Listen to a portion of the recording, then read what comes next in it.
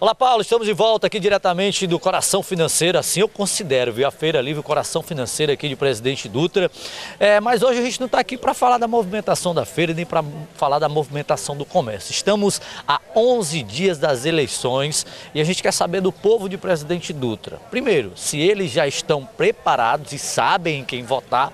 E segundo, o que, é que eles querem desses nossos candidatos aí que colocaram seu nome à disposição da nossa população. Vamos conversar com o povo, Paulo, vamos saber qual a opinião deles. Aí eu espero que eles façam boa coisa para nós, nós temos, temos uma esperança deles, né? Se não tiver, se eles não fizer nada, pois está ruim demais, né? Porque os que estão por aí, os candidatos a presidente, pelo menos, não estão tá fazendo nada bom, não. Qual que seria a prioridade deles, o que o senhor acha? Saúde, educação, saúde, emprego? Educação e emprego.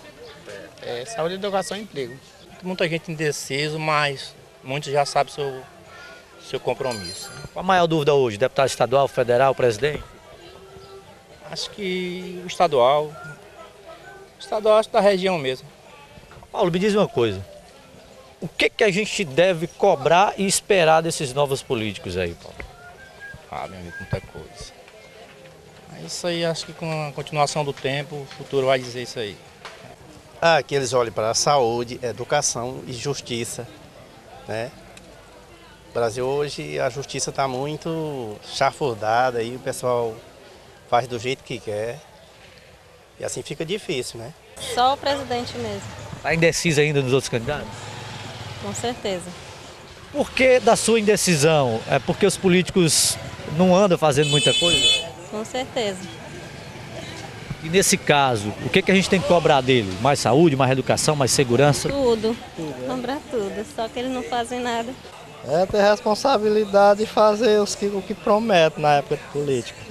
Parece que entra ano e sai ano é a mesma coisa, as cobranças sempre são as mesmas. Mesma coisa, só promessa e nada. Diante disso está difícil votar, né? Tá. Só quando mudar o. Entrar o turno que mudar o jeito de, de administrar, de fazer os compromissos que eles prometem. Não sei nem se eu vou votar. Mas por quê? Porque não tem mais idade de votar, estou velho demais.